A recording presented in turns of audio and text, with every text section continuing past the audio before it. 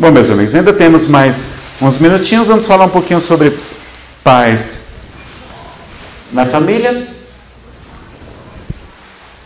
A gente teve uma noção geral aqui e agora a gente precisaria de um seminário. Eu tenho um seminário só sobre palestra sobre família, não é? Elas se encontram em, em CDs de MP3, DVDs também, tá?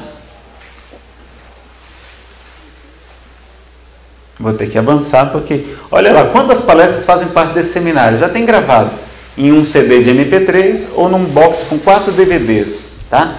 Começa com a palestra Dificuldades da Convivência em Família, outra só sobre casamento, divórcio, ciúmes e tentações afetivas, perdão, liberte-se da mágoa e seja feliz, como é importante a gente aprender a perdoar, alcoolismo, amor incondicional, enfrentando a separação, educação dos filhos, educação de crianças, educação de adolescentes que é completamente diferente da educação de crianças, educação antidrogas, superando a perda de pessoas amadas, a reencarnação segundo a Bíblia a Ciência, a Bíblia condena o Espiritismo, está tudo no CD de MP3 ou no boxezinho de DVD, com quatro, quatro DVDs em 12 palestras, tá?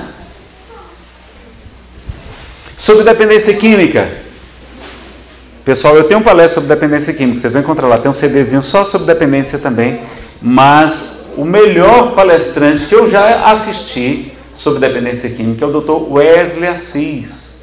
Tá? Ele é de Goiânia, é espírita, e lá na Comunhão Espírita de Brasília, vocês encontram os DVDs e CDs de MP3 dos seminários que todo ano ele vai lá para a comunhão. E tem vídeos dele no YouTube também. No meu canal, você entrar lá, você vai encontrar palestras sobre dependência química, tem as palestras dele que ele autorizou a gente colocar também no YouTube, tá certo? É, ele não fala sobre droga, não fala sobre substância, ele vai falar sobre família, vai falar sobre tratamento, vai falar sobre recaída, como prevenir recaída, vai falar sobre as comorbidades. Porque, meus amigos, a dependência só existe quando tem uma comorbidade, ou seja, uma doença que está por trás. Por exemplo, a pessoa que tem problema de depressão, um transtorno bipolar, o que é que vai fazer? Como tem muita tristeza, o que é que ela vai fazer? Vai beber para ficar alegre, não é? Porque o álcool, na verdade, ele não traz alegria, não. O álcool, a princípio, ele mexe na censura. A gente fica mais desinibido, fica mais solto, mais gaiato, ou mais violento, mais, mais, mais é, é incômodo, né? Ataca até as mulheres casadas, etc., quando a gente bebe. O álcool, então, como a gente fica mais desinibido, a gente fica mais solto e a gente fica mais alegre por causa disso. Mas ele não é uma droga estimulante. O álcool é uma droga depressora do sistema nervoso central. Pode reparar que depois de algumas horas a gente começa a ficar sonolento, ele, é, ele ceda a gente. E ele também, no dia seguinte, a ressaca um quadro tipicamente melancólico. A gente fica mal-humorado, não é? A gente não fica feliz. Porque o álcool ele não traz alegria, ele traz euforia rápida por causa da, da, da desinibição que ele produz. Então tem que ver o que é está por trás. Por que, que aquela pessoa se tornou alcoólatra? É porque ela tem uma depressão, tem um transtorno bipolar. Por que, que aquela criança foi, não é aquele jovem começou a exagerar na maconha e no cigarro? Porque pode ter um transtorno de ansiedade generalizada. Tem um problema de ansiedade. Aí ele vai, como o cigarro e a maconha calma, aí a pessoa vai usar o cigarro e a maconha.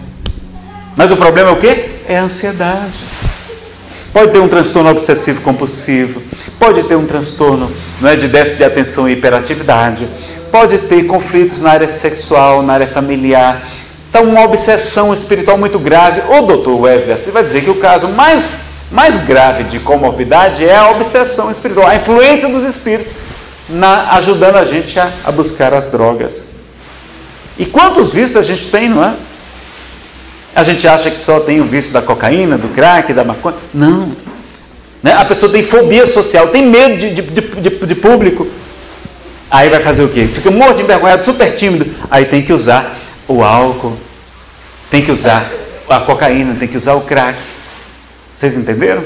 Então a gente tem que ver o que, que tem por trás da droga. Não adianta a gente mandar uma pessoa, um toxicômano, para uma clínica de desintoxicação enquanto a gente não descobrir qual é o vazio interior que aquela droga está preenchendo. E muitas vezes é uma depressão, é uma frustração muito grave, é um transtorno bipolar. Então a gente tem que ter consciência disso. Por que, que tem muita gente que experimenta e não fica dependente? Não é todo mundo que fica dependente, não é? Quem, tem depend... quem fica dependente é quem tem as comorbidades. São os chamados toxicófilos da Organização Mundial de Saúde. Ela vai dizer que tem um percentual da população que, se começar a usar droga, vai ficar dependente. Ou porque a gente já foi dependente em outra vida. Sobretudo do álcool, não é? Agora, mais recentemente, do cigarro também. Muita gente já reencarnou já com problema do cigarro. E a gente então traz essas, esses problemas. Tem que tratar o espírito imortal que está ali, que precisa ser trabalhado. E aí vai ficar mais fácil deixar as drogas, porque elas só realmente viciam quando tem um substrato, quando tem uma comorbidade. Mais de 70% dos casos de dependência química tem uma comorbidade por trás, uma doença por trás dela. Não é? Então é importante conhecer esses detalhes todos. Eu tenho palestra sobre depressão e alegria de ver, tenho palestra sobre ansiedade também. Quem tiver interesse, o material está aqui. Toda a renda vai ser revertida hoje aqui para vocês, tá? Toda a renda, 100% do que vender. Então quem tiver interesse, aproveita e dá uma olhadinha lá nos tem 13 CDs de MP3 diferentes, cada um com 12, 15 palestras e além de vários boxes com 4 DVDs também. E tem também hoje um pendrive, tem um pendrive agora com 100 palestras para quem quiser levar a coleção completa também tem, tá bom? Só, mas não é obrigado a comprar não, é só se tiver interesse, tá certo? Então, a Federação Esta Brasileira tem uma campanha permanente de o melhor é viver em família, tá certo? E a gente vai é, ver uma questão muito importante. Por que a convivência é tão difícil, pessoal? Por que, que é, é difícil conviver? O que, é que vocês acham? Quais são os nossos defeitos que fazem a gente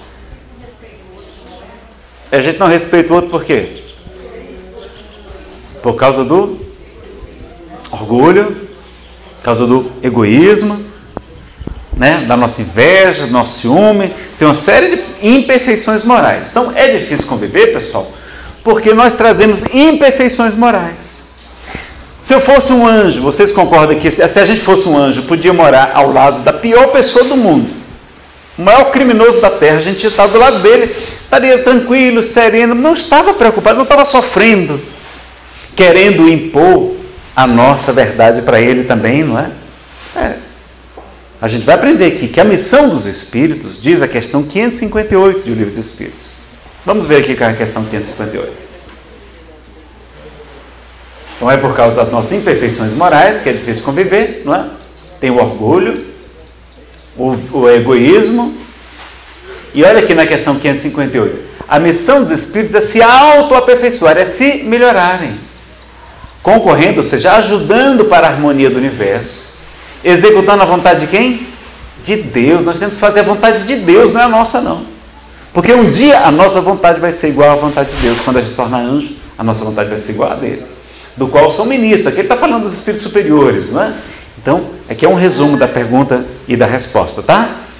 Então, são as imperfeições morais. O problema é que a gente quer mudar o outro.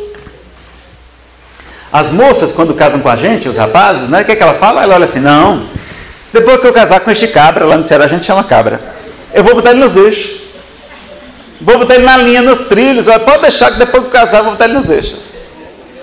E nós, os, os rapazes, ao contrário, queremos que as nossas esposas nunca mudem.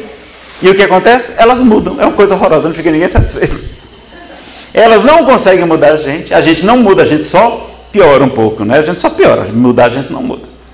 E as mulheres que a gente queria que não mudasse, elas mudam. É uma coisa complicada. Então a gente sofre muito com essa compulsão de querer controlar os outros. É nossa missão isso? Mudar os outros? Não. Qual é a nossa missão? Nos melhorarmos. Porque quando a gente se melhora, a gente melhora o outro também. O problema é que a gente quer impor a nossa cartilha. Não, eu sei o que é certo, você não sabe. Cada um está num nível evolutivo diferente. Né? A gente não quer respeitar, às vezes, nem a, a, a, pessoa. A gente quer porque quer impor. Não, isso aqui que é o certo. E fica com a tal da mucarela, com a tortura chinesa.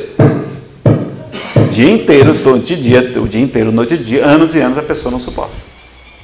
Então, a gente tem que respeitar o outro, vamos orientar, vamos esclarecer, vamos orar por ele, vamos fazer vamos, vamos fazer, vamos ajudar, mas sem querer mudar o outro porque ele não vai mudar.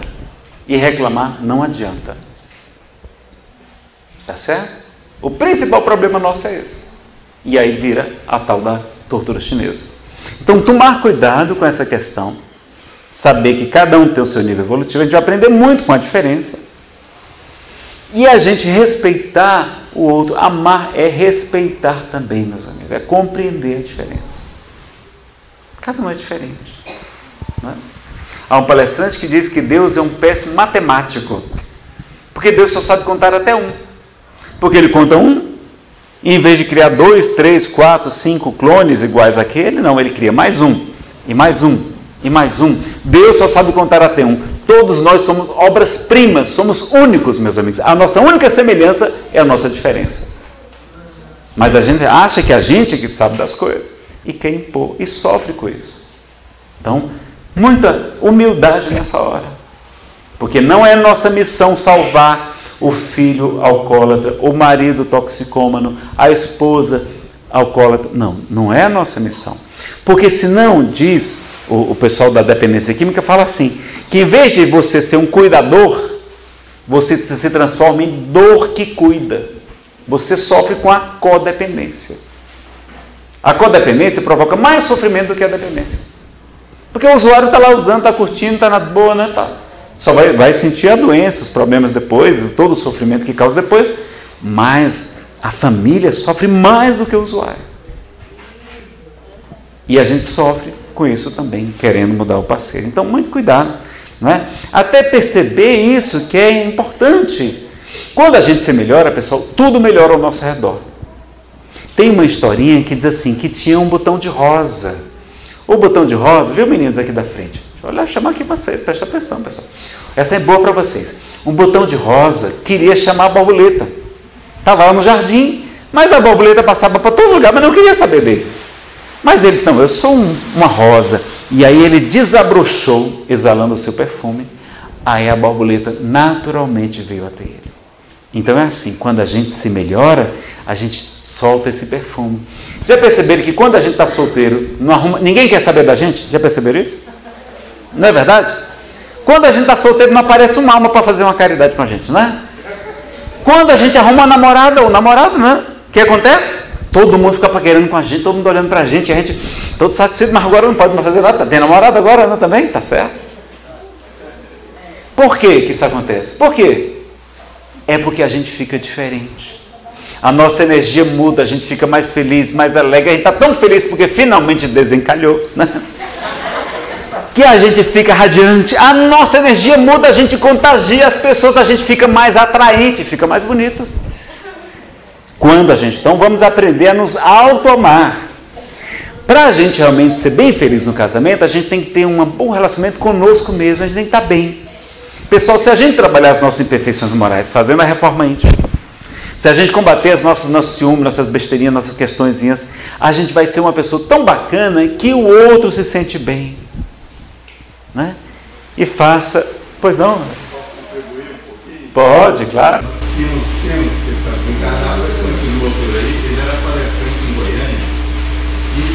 mulher assistida toda vez reclamava que o marido batia muito nela, ela não estava aguentando. E está atrás seu marido assim sempre, vai que vai ouvir uma palestra e vai mudar.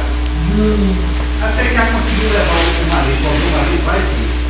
Aí ele preparou uma palestra sobre reencarnação, fechada dele, fez a palestra, o casal foi embora. E a mulher falou, olha, o meu marido virou um santo, mas está me tratando logo de ligar meus pensamentos. Mas me deu tudo lá em casa, tão paraíso. Aí depois de três meses ele elogiando, olha, mas realmente é definitivo a mudança. Eu falou, não, agora eu sou obrigado a ir lá marido. Aí foi lá na favela, visitar o marido, então vamos dar os parabéns, assim, assim, foi da palestra sobre o. Olha, o senhor falou que a gente, se não tratar bem a pessoa, depois a gente vai ter que casar de novo com ela. Quero me livrar de uma vez, né? Então, obrigado, Rodaz, pela sua contribuição. E é verdade mesmo, né? Se a gente não aprendeu ali, só aprendeu a suportar o outro, tem um aprendizado que não foi concluído. E as provas tendem a se repetir. Diz o livro dos Espíritos, está lá, as provas tendem a se repetir. Enquanto a gente não vence aquele aprendizado, a gente ou vai atrair pessoas parecidas com aquela. Separa daquele, porque, por exemplo, ele usa tóxicos, né? Casa com o outro, quando vai descobrir, o outro está usando também. Aí não separa, vai para o terceiro. Aí também está usando drogas. E é pior que agora você tem três ex-maridos e três sogras. É brincadeira com as sogras, né? Só para descontrair um pouquinho. Mas não resolve, então não resolve. As provas tendem a se repetir. Vamos aprender, vamos evoluir. A gente vai ver um caso aqui real de Joana de Cusa exatamente sobre esse assunto. Vamos ver aqui no finalzinho. Já estamos caminhando para o nosso encerramento. Lá no final gente termina com o conselho de Jesus para Joana de Cusa que tinha um marido terrível. O que é que ele fala para ela no livro Boa Nova, psicografia de Chico Xavier, o Espírito Humberto de Campos, tá bom? A gente vai ler para vocês no final, tá? Então, meus amigos, nós estamos aqui também, quando um, uma vez eu participando de um estudo de reforma íntima, de estudo do Evangelho segundo o Espiritismo em pequenos grupos, eu estava participando e aí o monitor perguntou, Nazareno, você sabe para que está aqui na Terra?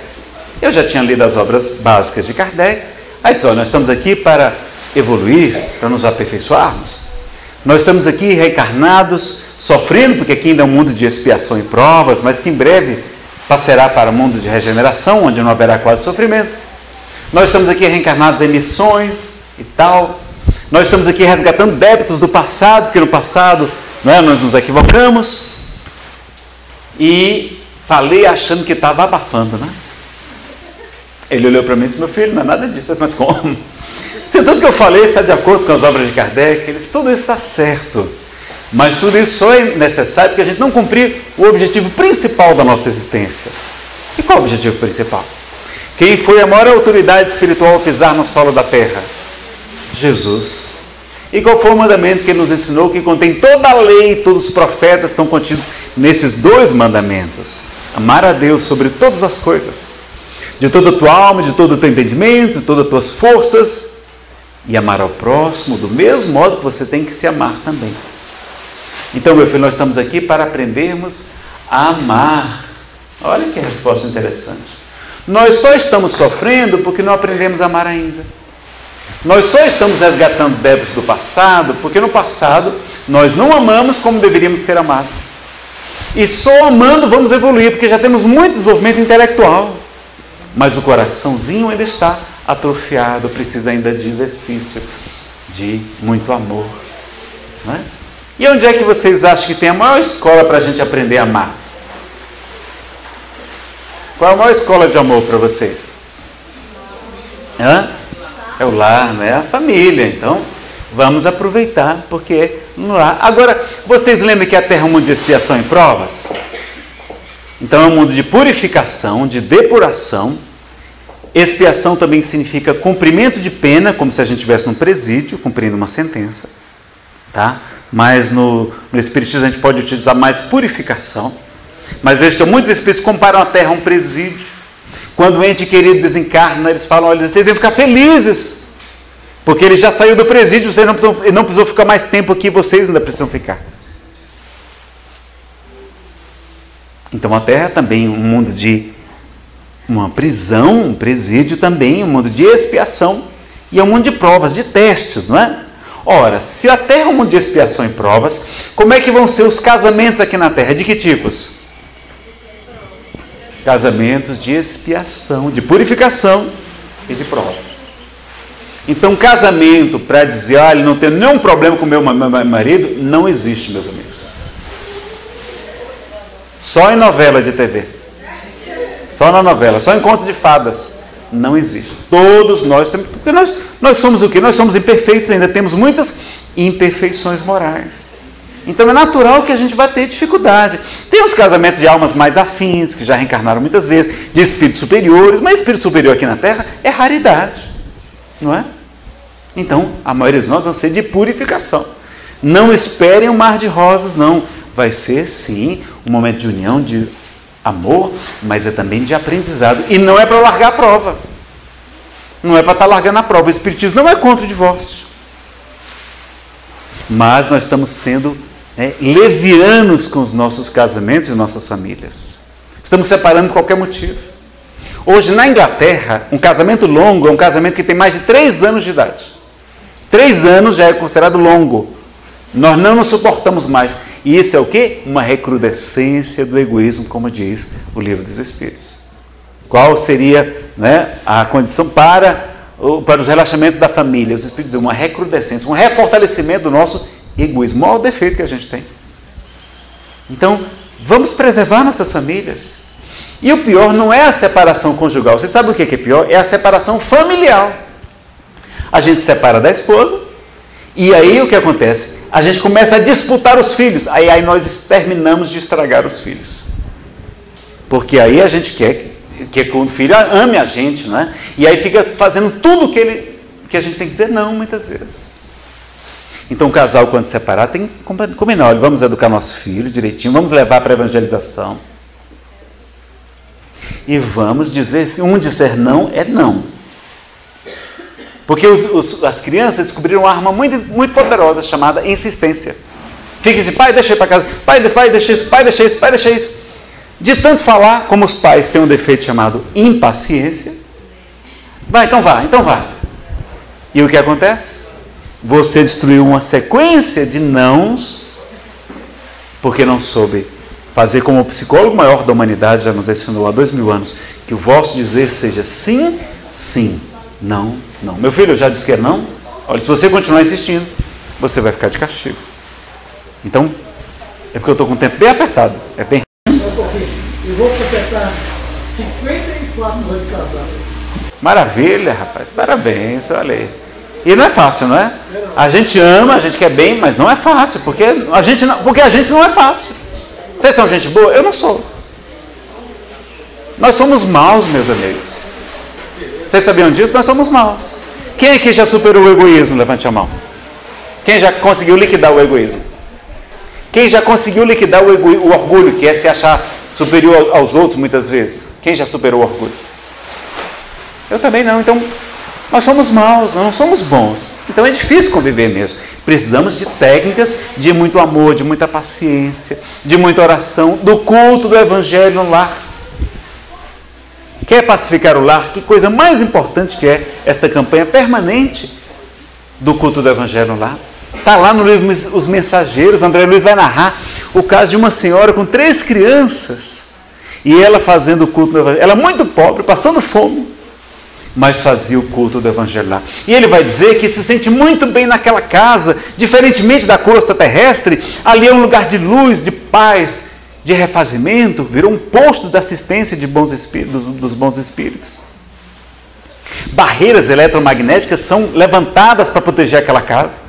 Ele vai descrever quando o espírito atrasado tenta entrar na casa, leva um choque daquelas barreiras. Ali não entra porque ali se pratica o culto do evangelho lá. 20 minutos, meia hora, uma vez por semana é suficiente. Naquele dia, naquela hora que a gente marcar, os bons espíritos vão estar lá conosco, né? naquela hora, amparando os espíritos que estão na nossa casa. Porque muitos de nós desencarnam, diz Emmanuel, que três em cada quatro dos que desencarnam aqui na Terra não vão imediatamente para colônias espirituais, não. Superiores ou inferiores, não. Ficam onde? Entre nós. Porque onde está teu tesouro, está aí teu coração. Então, quantos espíritos, às vezes, sem saber, espíritos amigos, espíritos parentes nossos, Desencarnado não sabe nem que desencarnou. E está lá doente, está lá não é, desarmonizado na nossa casa, provocando depressão, provocando doenças, provocando brigas. Eles nem sabem, às vezes não fazem por mal mesmo, não. Porque quantos de nós desencarnam e não sabem que desencarnou? É tão comum na reunião mediúnica, não é? Eles conversam com a gente e a gente não responde. Aí eles pensam que que estão sonhando, estão tendo um pesadelo, ou então que enlouqueceram. Então vocês já sabem agora, né? Quando começar a conversar com as pessoas e elas não responderem, atenção, pode ser que você já esteja do lado de lá, né? Eu falei isso no nosso grupo de ESE, de estudo sistematizado, e um senhor lá atrás levantou a mão triste e disse assim: Nazareno, pois eu acho que eu já desencarnei. Mas, mas como? Porque lá em casa eu falo, falo, minha mulher me escuta, meus filhos me obedecem, eu acho que eu já desencarnei. Né? Às vezes acontece aí nem vida, o povo não escutar mais a gente. Né? Então vejam como é importante ter o culto do Evangelho lá, protegendo a nossa casa, porque a gente está protegido na casa espírita, está protegido às vezes em muitos lugares, mas na nossa casa, quantos são ali os espíritos? Às vezes colocam espíritos suicidas ali dentro da nossa casa para desarmonizar, para provocar enfermidades. ovoides e tantos aparelhos, não é? tantos outros problemas que a gente tem notícias aí do mundo espiritual. Então, importância de termos uma vez por semana, naquele mesmo dia, naquela mesma hora. Quem aqui já faz o culto do Evangelho no lar? Levante a mão, por favor. Olha, pessoal, pouca gente. Então comece, comece hoje, depois você muda o dia. Mas comece hoje a fazer esse culto. A gente lê um trechinho do Evangelho segundo o Espiritismo, faz uma prece, não é? pede aos bons espíritos para proteger a nossa casa, ora ali por nós e a gente se evangeliza, que é o que a gente mais precisa é de evangelização. Nós precisamos nos evangelizar. Grande compromisso nosso é com a autoiluminação através do Evangelho de Jesus. Não é? Então, Vamos ter que correr aqui, como nós falamos aqui. O que é caridade na visão espírita? A gente sabe que fora da caridade não há salvação, não é? Kardec vai estudar o de que precisa o espírito para se salvar. O único critério para separar os bois das ovelhas qual é? Jesus esclarece que é tive fome, deste comer, sede, me deste beber, careci de teto, me hospedaste, estive nu e me vestiste, estive doente, me visitastes, estive preso e me fostes ver. Então Jesus faz da caridade o único critério. Então não precisa ser espírita, não precisa ser católico, não precisa aceitar Jesus, ser batizado, pagar o dízimo. Não, tem que fazer o que ele pediu. O que, é que ele pediu? Caridade. Pode até ser ateu, mas estiver combatendo já o egoísmo e fazendo caridade, já está apto a passar à direita, como Jesus nos convida, não é? E qual é o sentido da palavra caridade, como entendia Jesus? Pessoal, bastava dizer isso aqui, ó, bastava dizer benevolência para com todos. Parava aqui, já estava completo. Porque benevolência é ser bom, é ter boa vontade para todos, para os bons, para os maus, justos, injustos. Quem é benevolente dá, é, alimenta, dá roupa, hospeda, não é? visita o doente ou preso, mas eles reforçam que é tão importante a indulgência e o perdão. Não precisava dizer indulgência, que é clemência para o defeito do próximo, nem perdão das ofensas, mas isso é tão importante que os espíritos reforçam. Bastava dizer benevolência para com todos, concorda? Porque quem é benevolente é indulgente, quem é benevolente perdoa. Mas é, se a gente não tiver perdão, a gente jamais vai ter paz em família e paz no nosso coração, que é o mais importante. A gente vai estar se envenenando com a mágoa, não é? Então nós vamos agora para o nosso finalzinho. Vamos só ver aqui, pessoal, a importância. Aquela, vocês lembram a questão das, das imperfeições morais? Então, vou fazer uma pergunta aqui, vê se o pessoal está estudando, viu, Rodarte? Qual é a principal causa das nossas imperfeições morais? Como está escrito lá no livro A Gênesis, no capítulo 3, item 10. E a gente aprende no item 252 do livro dos médios que as imperfeições morais são as tomadas que permitem o plug, é o que permite a obsessão, a influência dos espíritos maus sobre nós. É? São as imperfeições morais. Qual é a principal causa, pessoal? O orgulho é filho dele. O egoísmo é filho dele. Hã? Os vícios são filhos dele. Desamor é, pode ser filho dele também. Não vai salvar uma alma, não, pessoal, hoje. Pessoal, isso aqui é obra básica. A Gênese, os milagres e as predições segundo o Espiritismo, fez 150 anos, dia 6 de janeiro agora. Já deu tempo de ler, 150 anos, não deu tempo de vocês lerem ainda. Não é? Vamos ler essa obra. Lá no capítulo 3, item 10, ele vai dizer que a principal causa das nossas imperfeições morais é o instinto de conservação. Ele não vai aprofundar aí, não. A obra é de 68, ele retorna ao manuscrito em 69, 31 de março. Mas o Espírito Samuel Lucas perguntou, Nazareno, quais são os instintos de conservação? Bom, nós temos a fome e a sede, que daqui a pouco a gente vai dar um jeito nela, né? Tem um moço maravilhoso ali esperando a gente. Nós temos o instinto sexual, nós temos o instinto maternal, nós temos o instinto da agressividade, nós temos o sono, importante também dormir, não é? E tem um instinto muito importante, mas muito perigoso, que é o medo. O medo ele é útil porque ele impede da gente cometer loucuras. Mas o medo em excesso vai provocar uma série desses vícios que vocês falaram aí. Querem ver? A avareza. Não é medo da gente passar fome, passar privações, necessidades, a gente começa a acumular bens, riqueza, tesouros, dinheiro. Porque a gente tem medo de passar alguma privação, não é assim? É, não é medo? É medo. Ah, ah, o ciúme. Ciúme é amor?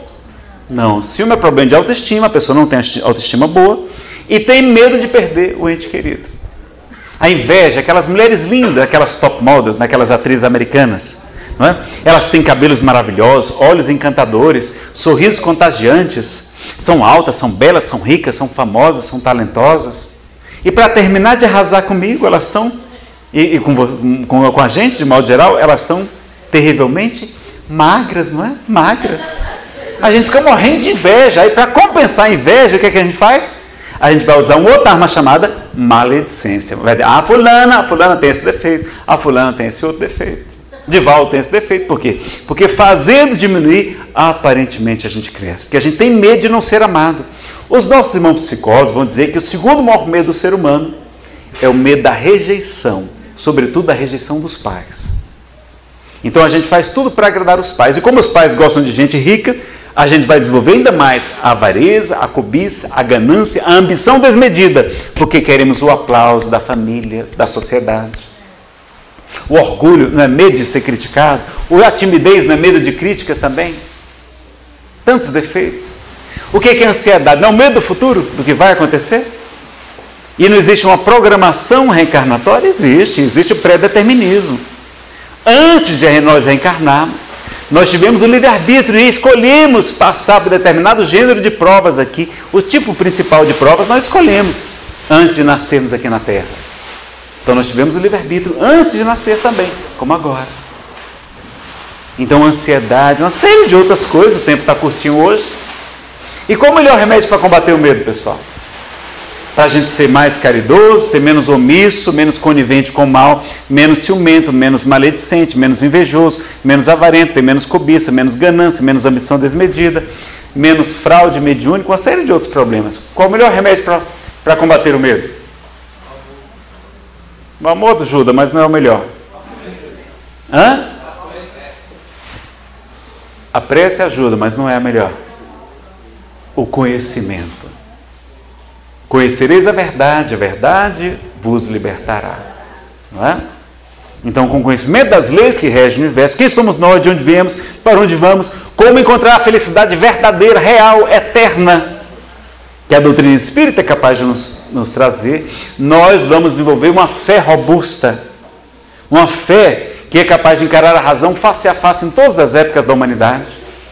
Então, com a fé poderosa por causa do conhecimento e do autoconhecimento, que é o meu prático mais eficaz de um homem melhorar-se nesta vida e de resistir aos arrastamentos do mal, nós vamos ter uma fé robusta e vamos vencer esse medo para não sofrer tanto.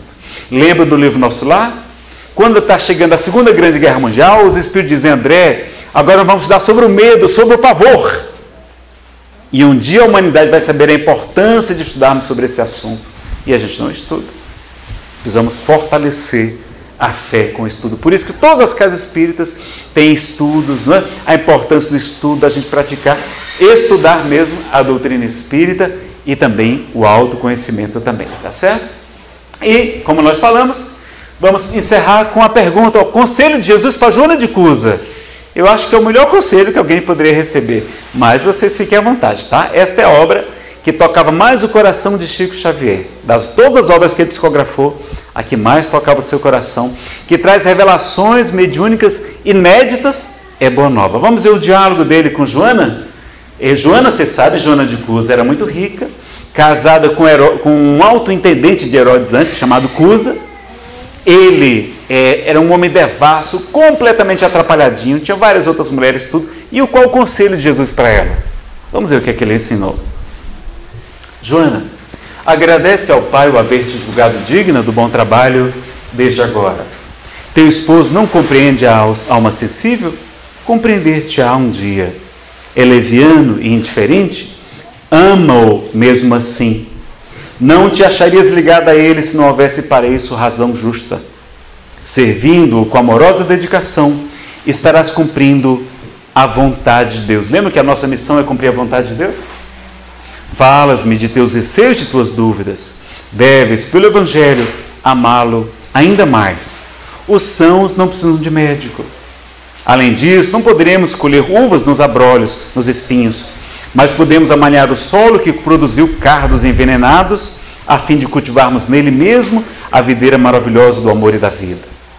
Joana deixava entrever no brilho suave dos olhos a íntima satisfação que aquele esclarecimento lhe causavam Mas patenteando todo o seu estado d'alma, interrogou: Mestre, vossa palavra me alivia o espírito atormentado.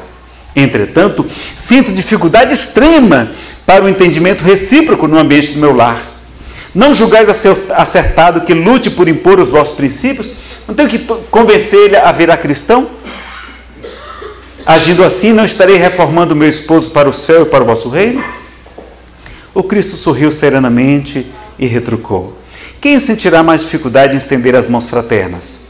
Será o que atingiu as margens seguras do conhecimento com o Pai? Ou aquele que ainda se debate entre as ondas da ignorância ou da desolação, da inconstância ou da indolência do espírito? Quanto à imposição das ideias, continuou Jesus, por que motivo Deus não impõe a sua verdade e o seu amor aos tiranos da terra? Porque não fulmina com raio o conquistador desalmado que espalha a miséria e a destruição com as forças sinistras da guerra? A sabedoria celeste não extermina as paixões, transforma-as. Aquele que semeou o mundo de cadáveres desperta às vezes para Deus apenas com uma lágrima. O pai não impõe a reforma a seus filhos, esclarece-os no momento oportuno.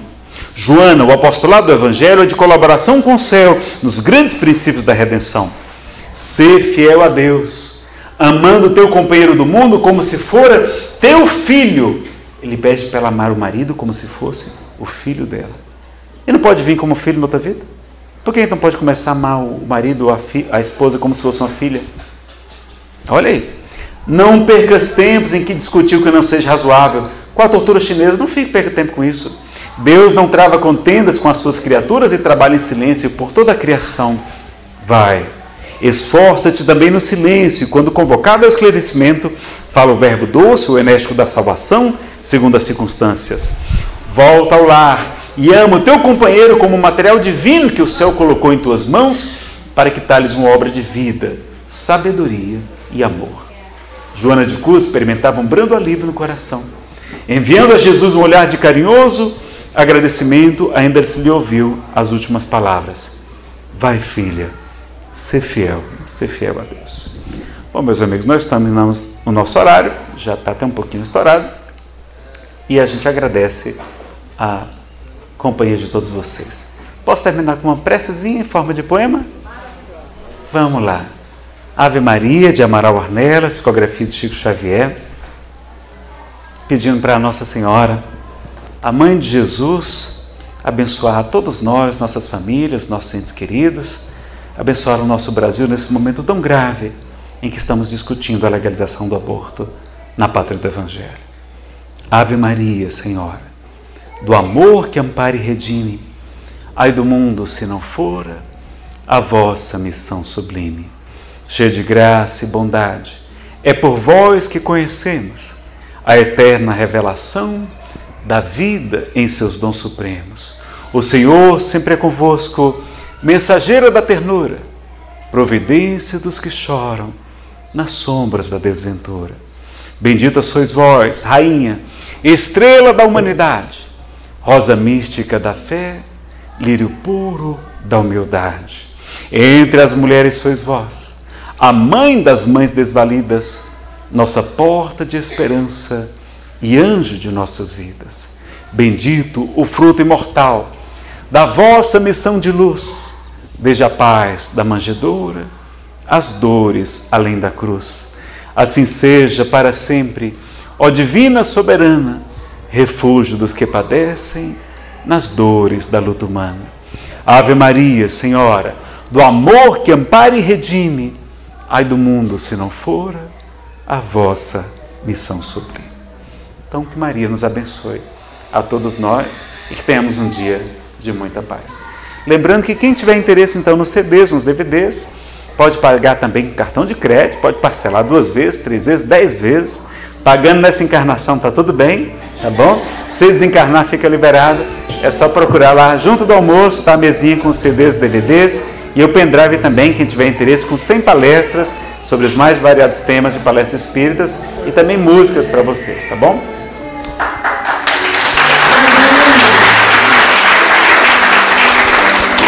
A gente, a gente fica muito emocionado, é muito gostoso de ouvir e aprendemos muita coisa, né, gente? E agora, com esse clima de paz, os os nossos meninos vão cantar. Nós, todo mundo. Todos nós vamos cantar. nós, paz do mundo. Ah, maravilha! E dedicamos com todo carinho essa música. Obrigado. Tá bom? Vamos lá. A paz do mundo Eu tenho aqui. sem Se eu tenho amor, com certeza sou feliz.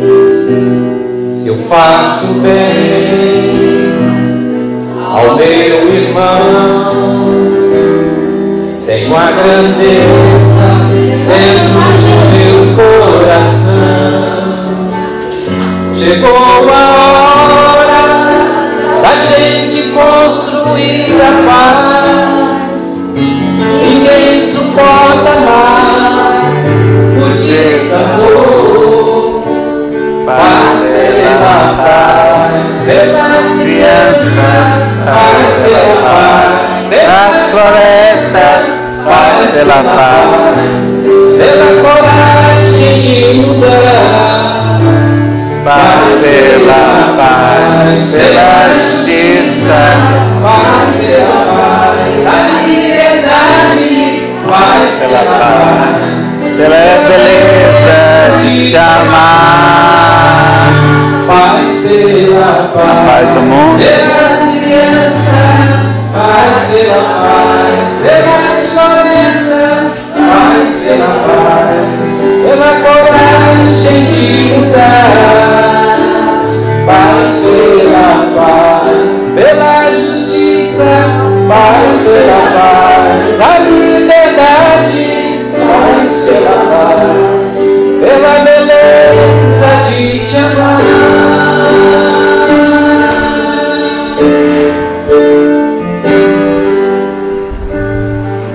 Lindo isso, né, gente? Vamos cantar mais vezes essa música, tá? Todos vocês para um almoço Deus te abençoe, viu? delicioso que vai ser servido lá em cima,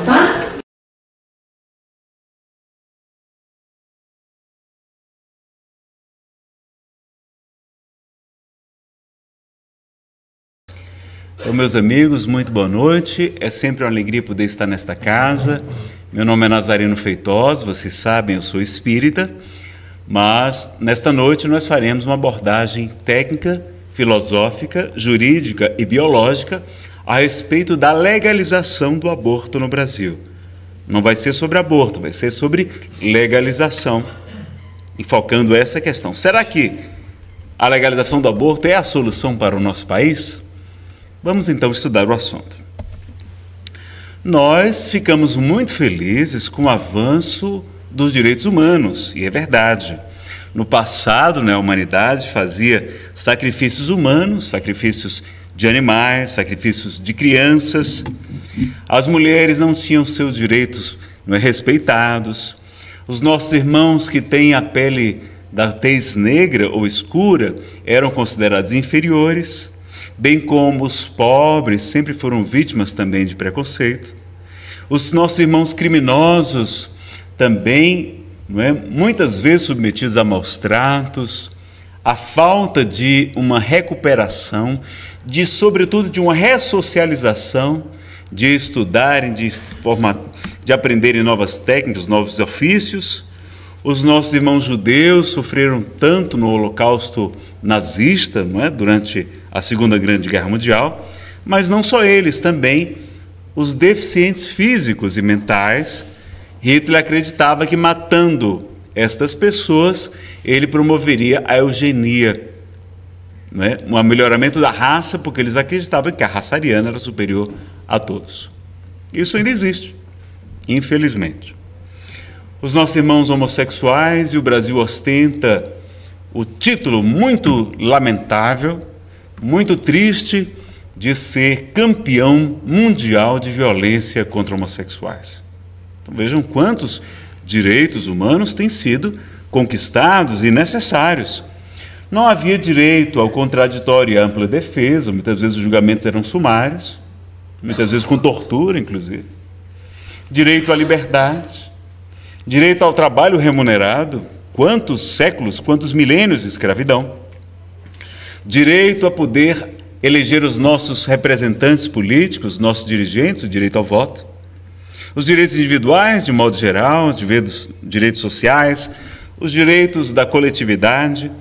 Temos hoje no Brasil, desde alguns anos, a Lei de Maria da Penha, que vem proteger a mulher contra a violência, e é muito importante. E nós temos também o respeito ao direito dos animais, não só mais direitos humanos, mas agora direitos dos animais.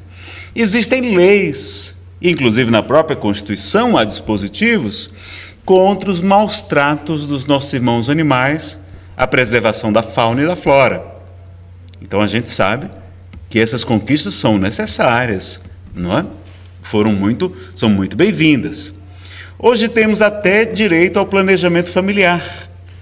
As pessoas têm à sua disposição a tabelinha, não é? O método natural, mais saudável, tem os anticoncepcionais de vários tipos, injetáveis, cápsulas, tem também o preservativo masculino, tem o DIL, que é ainda motivo de controvérsia entre alguns cientistas, se ele é abortivo ou se não é abortivo, mas a sua intenção não é de provocar o aborto, não é?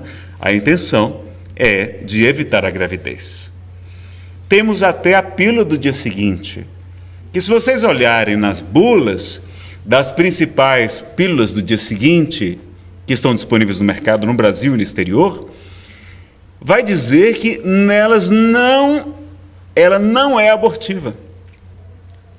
Mas ela só não é abortiva se você considerar o momento da, no nascimento da vida, como eles interpretam. Eles interpretam, claro, porque ganham muito dinheiro com pílula do dia seguinte e fizeram aqueles malabarismos jurídicos para dizer: não, olha, a vida começa na nidação, ou seja, depois que o, o esperma, o espermatozoide do homem e o ovócito da mulher se ligam, ele ainda vai caminhar nas trompas até se implantar no útero, a nidação.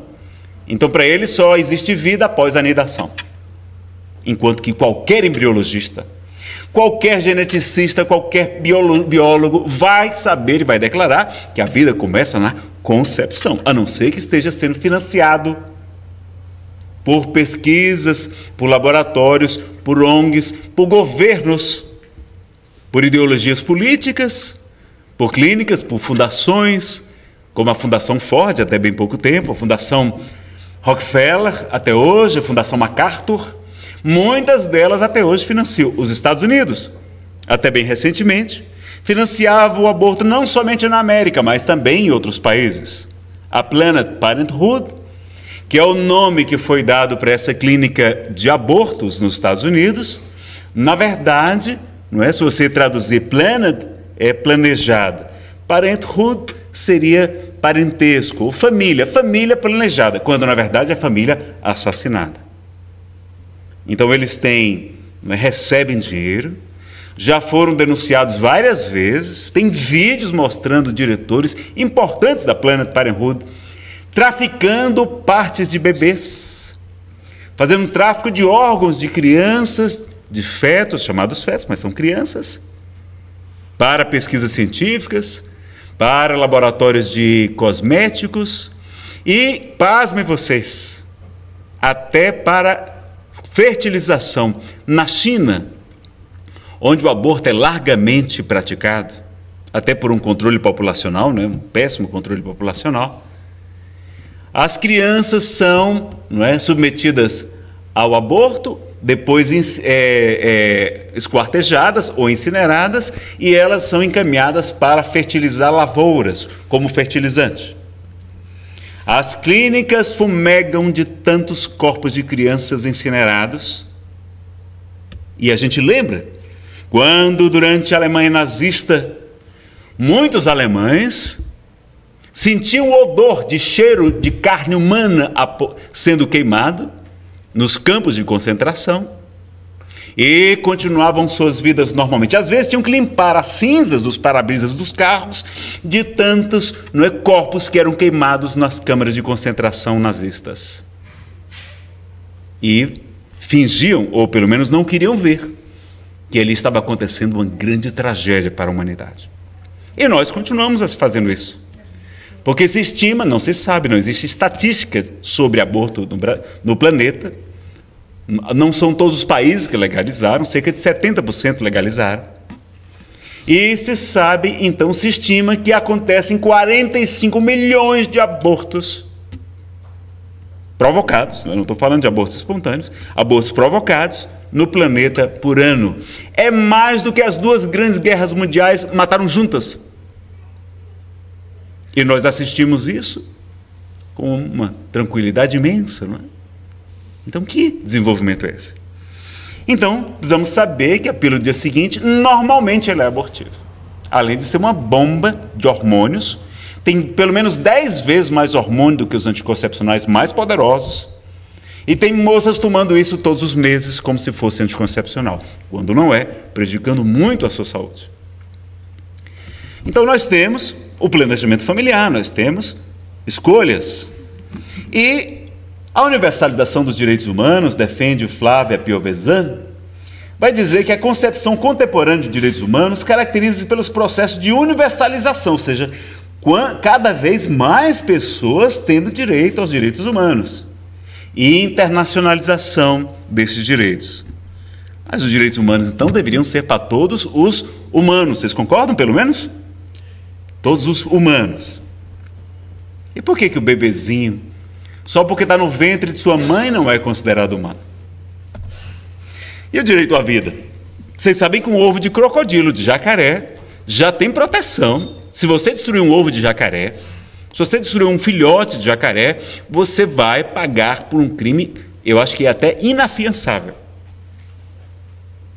Enquanto que o ovo de um bebezinho, de um ser humano, não tem nenhuma proteção para esses que defendem a legalização do aborto. Então há nessa discussão, não há é, problemas da antinomia das normas, não. Existe antinomia entre princípios, porque as normas são muito claras. Muita gente não quer ler, não quer interpretar como se faz, como seria o correto. Mas o problema é que se ele diz, não, tem um princípio que é mais valoroso que o outro. E quando acontece essa antinomia de princípios, a gente tem que ver o que, é que deve prevalecer. Qual é o, o princípio que é mais importante? Qual que antecede os demais? Será que é o direito à vida, que é o mais básico de todos, principal? Ou será que é o direito à autonomia da vontade da mulher, que ela pode matar ou não o seu filho? Então, direito à vida, a gente não tem dúvidas quanto a isso. Não? Agora, quando a gente assiste qualquer pessoa que defende a legalização do aborto, nós vamos ver que, primeiro, elas não são isentas, não. Elas estão recebendo dinheiro dessas organizações, dessas clínicas, de investidores que querem também legalizar e implantar clínicas aqui no Brasil. Então não são isentas, em primeiro lugar. Tem, claro, pessoas que fazem isso por ideologia política, etc. Mas os abortistas mesmos, que os militantes, normalmente são financiados. Teve um, um, caso na audiência pública que um médico foi lá, apresentou todos os seus diplomas e ainda revelou. Foi honesto. Eu sou financiado pela Fundação X. Eu não me recordo agora qual era. Mas elas não falam isso. Então você está recebendo dinheiro para defender uma ideia. Você vai fazer o quê? Você vai fazer como muitos advogados fazem. O advogado vai defender o direito do cliente. E não que é a verdade. Temos o apoio de quase todos os governos de esquerda. Em regra, eles são favoráveis ao aborto. Em regra, não são todos. As causas chamadas feministas, que na verdade nós somos a favor do feminismo, nós não somos a favor é do, do, das abortistas. Não, isso não. Há muitas feministas que não são abortistas. E nós não deveríamos ser feministas nem machistas, nós devemos ser humanos. Porque esta é a nossa condição. Não há diferença entre um homem e uma mulher. É? E há cientistas e pesquisas, laboratórios patrocinados por essas clínicas, por essas ONGs, por essas fundações, para, não é claro, vender e interessa, o que interessa. Então, em primeiro lugar, eles não são isentos. É claro também que os religiosos, não é? Quem tem uma ideologia religiosa também não está sendo isento, porque a sua religião está lhe demandando falar. Mas eu não vou falar de ideologia religiosa hoje. Há cientistas contrários, sim, não é verdade que os cientistas são todos a favor da legalização do aborto. E há os humanistas, que não precisa nem de religião para saber que aquilo é um absurdo. E eu achei muito interessante, porque dois autores publicaram um artigo que foi um escândalo na comunidade científica. Mas não deveria ser. Porque, na verdade, para mim, eles foram muito coerentes. Porque eles, eu trouxe em inglês, para vocês verem que eu não alterei o texto. Eu vou fazer uma tradução. Vocês me perdoem, porque o meu inglês é lá do Ceará. Não é grande coisa. After birth abortion, why should the baby live? Aborto de recém-nascidos, de, depois que já nasceram. Por que as crianças deveriam viver? O autor é Alberto Giubilini e Francesca, Francesca Minerva. Então vamos lá, o resumo. Aborto é largamente aceito, mesmo por, pessoa, por razões que não tem nada a ver com a saúde do bebê. Então, a mulher não quer, não é oportuno, não, não, não, não é, ah, acha que isso não vai ser bom pra, no meu estado psicológico. É aceito o aborto, não é? É. Nos países legalizados é assim. Por demonstrar que, primeiro, ambos os fetos e os recém-nascidos não têm o mesmo status moral de pessoas reais, porque eles não têm vida de relação, um recém-nascido não se comunica, não é? Eles acham que eles não pensam, eles acham que ele não, não, não, não, não sente emoções nenhuma. Dois, o fato de que ambos são apenas pessoas em potencial e isso é moralmente irrelevante. Para eles isso é moralmente irrelevante. E que a adoção, não é porque você poderia doar, não precisa matar a criança, você pode fazer, inclusive, a adoção direta ou doação direta. Se você engravidou não quer a criança, não precisa matar seu filho. Você pode simplesmente entregar, comunicar à justiça, e a única coisa que os juízes vão fazer é vai consultar se dentro da família se tem alguém que queira adotar a criança, porque esses terão prioridade. Se os irmãos, se o pai, a mãe, eu não sei a relação completa. Mas a única coisa. E se não tiver ninguém, vai para aqueles casais que estão loucos para ter um filho e não podem, sobretudo recém-nascidos. As pessoas querem adotar e dizem que a fila demora, mas demora porque você quer recém-nascido, lourinho do olho azul. Mas se você quiser criança mais, mais, mais adulta, não é? Um pouquinho mais crescidinha, se for negro, tem bastante, não demora para adotar. Demora se você quiser escolher. E quase 70% das crianças têm irmãos. Então, se você não quer adotar uma criança que tem irmãos, então é outro problema. Então, você só quer um, não quer dois. Então, ontem foi o Dia Mundial da. Dia 25, aliás, de maio, né, o Dia Mundial da Adoção, por isso que eu estou comentando isso também. Então, você pode fazer a, ado adoção direta, não precisa de jeito nenhum matar a criança, tá? Adoção não é sempre a melhor maneira, o interesse da, do, das pessoas atualmente. Os autores arguem que o que eles chamam aborto de recém-nascidos, matar um recém-nascido, deveria ser permitido em todos os casos onde o aborto é permitido, incluindo os casos onde o bebê é deficiente físico ou mental. Então, quando o aborto é legalizado, você pode matar por qualquer motivo. Pela questão, vamos ver aqui no, na conclusão. Se o critério é quanto os custos, o custo social, psicológico ou econômico, for para os, os parentes, os pais em potencial, são bons e suficientes razões para terem um aborto, mesmo quando o bebê é saudável, se o status moral de um recém-nascido é o mesmo de que a criança, porque eles quase não diferem em nada, e se nenhum dos dois tem nenhum valor moral pela virtude de ser apenas uma pessoa em potencial. Para eles, eles não são pessoas, são pessoas em potencial, inclusive os recém-nascidos, porque eles não têm vida de relação, não se relacionam conosco. Então, as mesmas razões que justificam o aborto deveriam justificar também a criança de pessoas em potencial quando estão no estágio de recém-nascido. Isso foi um escândalo. Mas se vocês analisarem bem, eles foram extremamente coerentes. Se se aceita matar dentro do ventre da mulher, só porque saiu do, da barriga da mulher, por, por que, que não pode matar? Pode matar. Se é o mesmo argumento que vale para o bebê, deve valer para o recém-nascido também. Olha aqui. Quando a gente. É porque a gente não raciocina, mas quando a gente pensa, analisa, realmente. Bebê recém-nascido, só por quê? Porque a gente vê. O problema é esse, é porque a gente vê. Porque enquanto a mulher não está vendo o filho, Enquanto ela apenas toma o medicamento para provocar expulsão, né? praticamente não prejudica a criança, esses medicamentos abortivos que são vendidos ilegalmente, quem compra isso está cometendo crime. Eu sou policial federal.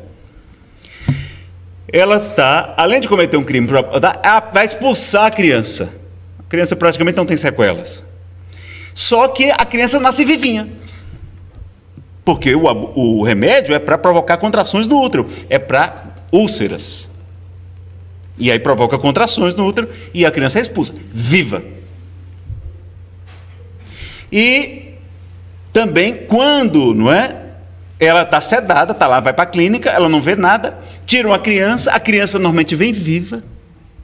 E aí tem que ser esquartejada, esmagada, trucidada ou incinerada, como é feito em muitos países. Então tá, gera um problema muito sério lá nos Estados Unidos. Se nascer com vida lá nos Estados Unidos, eles têm que, eles não podem mais matar. Tá, é uma confusão. Tem uma lei em vários estados proibindo a matança de crianças nessa condição. Se nasceu vivo, não pode matar. Então eles têm que matar dentro do útero. Quer dizer que matar dentro do útero pode, mas pode não pode fora. Qual a diferença, meus amigos? As paredes do ventre da mulher? Não é? Então a gente está vendo um absurdo, não é? Então nós podemos discutir sim, eu fiz slides, inclusive uma parte deles, quando estava lá no Senado Federal, na audiência pública. Eles, olha, eu falando com as abortistas, olha, eles, olha, a gente pode discutir, agora não podemos mentir. Isso me deixa revoltado. Nós não podemos omitir a verdade, as mulheres têm direito à informação. E isso é o que está acontecendo. Estão mentindo, meus amigos, como nós vamos ver aqui. Não, é? não podemos usar falsos eufemismos. Então, quando eles entram com ação no Supremo, como teve vários casos, eles não, não, não estão pedindo o aborto, não. Muitas vezes eles pedem. Não, eu estou pedindo é a antecipação terapêutica do parto. Eu estou pedindo é a interrupção voluntária da gravidez. Não estou pedindo aborto. Por que, que não fala a verdade? O nome é aborto. Não se admite isso. Isso é desonestidade, inclusive intelectual. E está lá os, os advogados assinando as, essas petições com esses termos. Então a gente tem que raciocinar. Então nós vamos falar aqui de 14 mitos e verdades sobre legalização do aborto no Brasil. Tá? Esse artigo está disponível no meu site, nazarenofeitosa.com.br. Primeiro mito. Antes de falar sobre ele, eu vou dizer para vocês: eu era a favor da legalização do aborto. Quando eu era ateu, eu fui ateu durante 12 anos, e quando eu acreditava nessa mentira, nessa propaganda nazista, porque uma mentira contada mil vezes acaba passando por verdade. Né? Eles ficam dizendo que morrem milhares de mulheres de aborto clandestino no Brasil. Aí você pensa, não, então é melhor, é melhor legalizar, as mulheres estão morrendo. Só que não é verdade, meus amigos. Vocês acreditam? E se você for lá no DataSUS, no, no órgão oficial do Ministério da Saúde, vai revelar que o número total de óbitos anuais por todos os tipos de aborto, não somente aborto clandestino, todos os tipos de aborto, da criança morreu dentro do ventre da mãe, os problemas de eclâmpsia, etc., vários tipos de, de, de morte durante a gravidez, é de cerca de 80 por ano. 80. 75, 85. 8, é a média 80 no Brasil. E a doutora Marli Virginia, uma ginecologista, obstetra e aqui da Secretaria de Saúde do, do GDF, Governo do Distrito Federal, ela foi pesquisar, não, eu quero ver, eu quero saber quem são essas mulheres, que casos são esses. Aí foi pesquisar, em 2006 ela descobriu, verificando caso por caso, que somente foram 12 mortes por aborto clandestino no Brasil. 12! O ideal é que não fosse nenhuma. Mas não são milhares de mulheres que morrem no Brasil por ano, como eles mentem para a gente. E aí induzem a gente a querer legalizar. Meus amigos, se fosse verdade que morrem milhares de mulheres de aborto clandestino no Brasil, todos nós na nossa família tínhamos alguém que morreu de aborto clandestino. Uma prima, uma sobrinha, um primo segundo, todos nós conhecíamos alguém. Eu já perguntei isso em milhares de palestras que eu faço sobre esse tema, para milhares de pessoas. Queria perguntar aqui hoje: quem aqui conhece alguém que morreu de aborto clandestino? Não é aborto, não, de complicação do parto. De aborto clandestino. Levante a mão, por favor. Alguém conhece? Deixa eu botar os óculos para ver se estou enxergando. Ninguém levantou a mão? É isso mesmo? Ninguém conhece. Por quê? Porque não é verdade. Eu já perguntei isso milhares de vezes. Milhares de palestras. Você sabe quantas pessoas levantaram até hoje? Quase ninguém. Somente duas pessoas em toda essa minha jornada no Movimento Brasil Sem Aborto e de palestras, vocês sabem. Então é mentira. Agora, a gente vai ver então, não é? Que existe mulher. Eu conheço uma jovem que já fez 11 abortos. E você olha para ela, moça saudável, bonita, toda esbelta. Modelo, inclusive. 11 abortos. E o aborto vai ser ruim não só para a criança que sofre, mas para a própria mulher. Como nós vamos ver aqui. E as mulheres têm o direito de saber disso. Segunda coisa, ocorrem milhões de abortos no Brasil. Né? Eu coloquei mito para ser, ser simpático, mas é mentiras, mentiras que são veiculadas inclusive na mídia. Ocorrem milhões de abortos no Brasil. O número de estimativas, não há estatística, a gente não tem estatística de aborto, que é uma coisa clandestina, ninguém sabe quantos abortos são de, de fato. Né? Seja 12, seja 20, seja 8, ninguém sabe. Mas os próprios abortistas já confessaram, o Dr. Bernard Natterson, que foi um dos maiores abortistas do planeta, que provocou mais de 35 mil abortos, ele dirigiu uma clínica nos Estados Unidos. Mas quando descobriram o ultrassom, a fetologia, ele começou a colocar os bebezinhos no ultrassom e acompanhar o aborto pelo ultrassom e viu o bebezinho fugindo da cureta. A cureta para trucidar a, a, o bebezinho e ele fugindo. E quando é alcançado, o bebezinho abre a boca como se desse um grito. Um grito silencioso, meus amigos. Um grito que não chega. Não tem chegado aos nossos corações. Aí lançou um documentário, tem lá no YouTube, em português, em espanhol em inglês, chamado Um Grito Silencioso. Procure, tem todos, várias publicações no YouTube. Para a gente conhecer Aí ele vai se tornar um dos maiores defensores da vida. E ele vai dizer, no livro América que Aborta, e num congresso em Madrid, em 1982, que eles multiplicavam os números de aborto. E ninguém contestava, ninguém ia atrás para saber se era verdade. Ele sabia que nos Estados Unidos, naquela época, não passavam de 100 mil. Mas eles diziam, multiplicavam por 10. Não, deve ser um milhão. É, olha, um milhão de abortos. Aí como todo mundo engolia, Ninguém atrás, a mídia publicava aquilo e conseguiram legalizar o aborto, como aconteceu há 40 anos já. Apesar de hoje ter um movimento muito forte contra, é, para reverter isso nos Estados Unidos, marchas imensas, milhões de pessoas lutando pela vida das crianças e pela saúde e felicidade das mulheres. Aí ele vai, é, eles legalizaram lá na Suprema Corte. Como o Brasil está tudo pronto para legalizar. Vários ministros já manifestaram sua, sua opinião sobre a legalização do aborto no Brasil.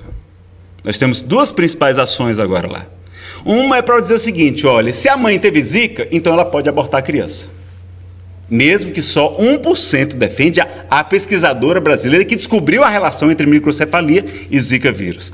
Só 1% das crianças têm microcefalia. E mesmo que você só descubra se tem microcefalia, no quinto mês de gestação, para poder medir o crânio da, da criança no ultrassom.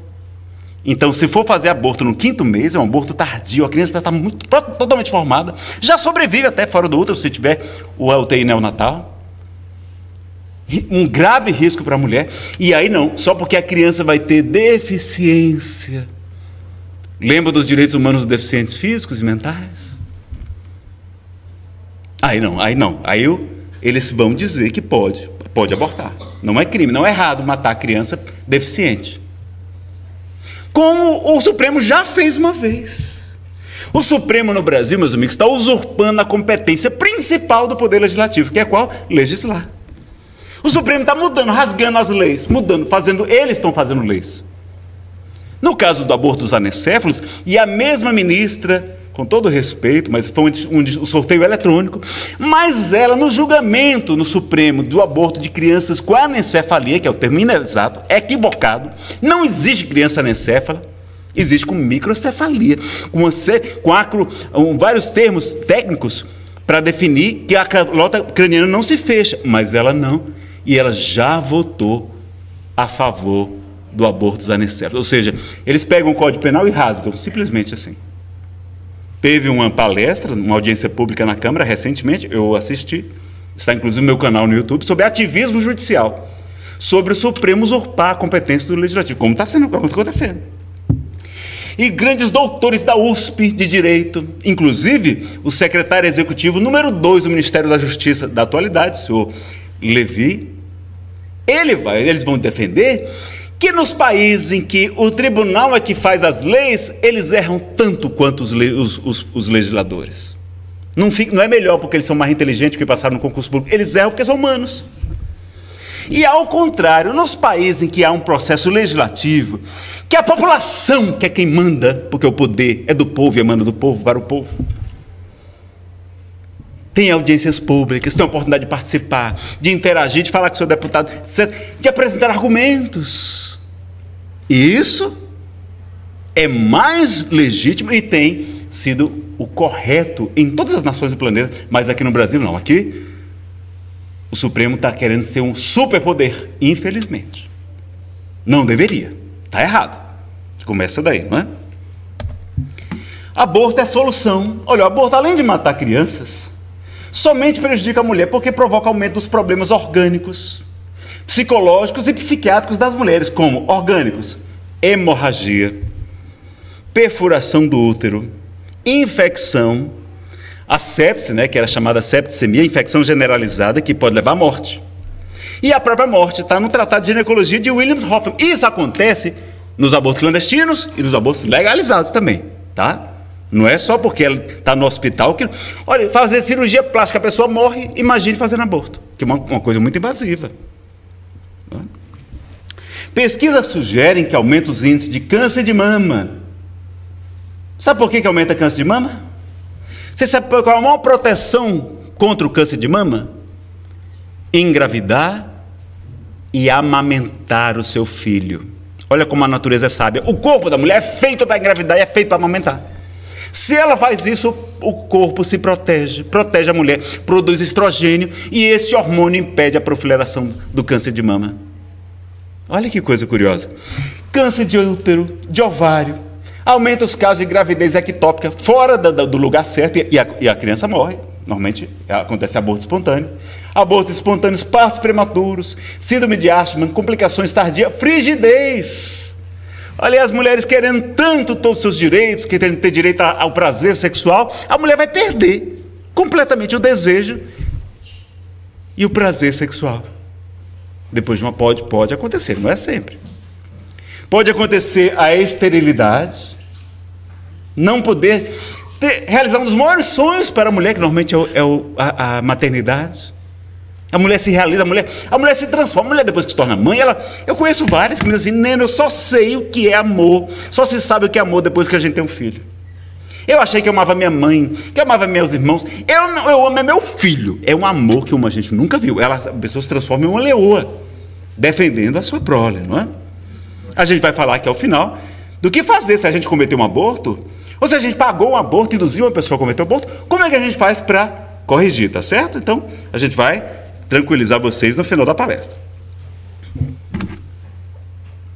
Psicológicos, muito mais casos de síndrome pós-aborto, a PSA, queda na autoestima, sentimento de culpa, frustração do instinto materno, é um dos instintos mais poderosos que existe na natureza, é o instinto materno.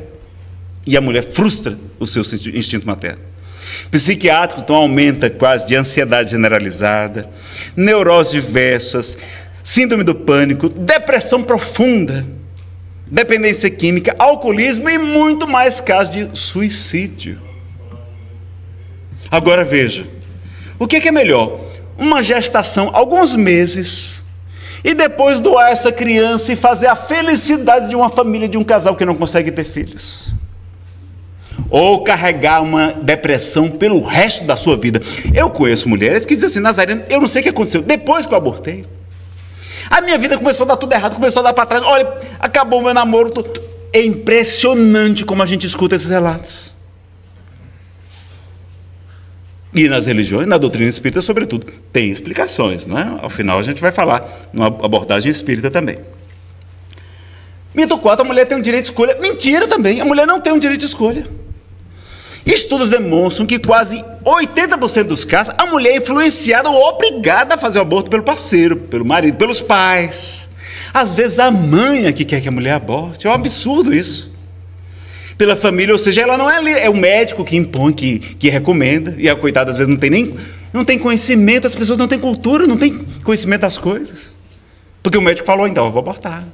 Divaldo Pereira Franco, vocês conhecem, o maior palestrante espírita da atualidade, uma família muito pobre de Feira de Santana, a mãe dele passava fome para poder dar, dar, alimento a ele. E quando ela engravidou, já engravidou idosa. No interior do Brasil, em 1927, que não tinha recurso nenhum. Quando foi falar com o médico, ela achava que estava com barriga d'água. E o médico disse: Não, a senhora está é, é, a senhora tá grávida. Daqui a seis meses a sua, sua barriga d'água vai nascer. Agora é melhor a senhora abortar, porque a senhora é idosa. Por causa da sua idade, porque a senhora é muito pobre. E ela disse: Nem que eu morra, eu mato meu filho. E aí nós temos Divaldo Pereira Franco. E muitos outros. Ele é só um exemplo, não é? Então ela tem o direito de escolha? não tem, porque ela é obrigada muitas vezes a, a abortar. O marido, o namorado, não, eu, eu lhe abandono, eu lhe largo se você não abortar. É assim que eles fazem. Olha, um homem que faz isso com a mulher é melhor que largue você mesmo, minha filha. Não vale nada. Ou está mal orientado, um dia ele vai mudar. Um dia ele vai. Porque depois que a criança nasce, tudo muda. Os, os, os avós ficam tudo louco pela criança, os tios, os irmãos, todo mundo, a criança é a melhor cor do mundo. Aí ela, ela agora. A, agora, ela é livre para decidir se aborta ou não. Mas depois que nasce, a família passa a adorá-la, especialmente a mãe. Em verdade, ela pode escolher engravidar ou não. Ah, eu sou o maior defensor da escolha da mulher.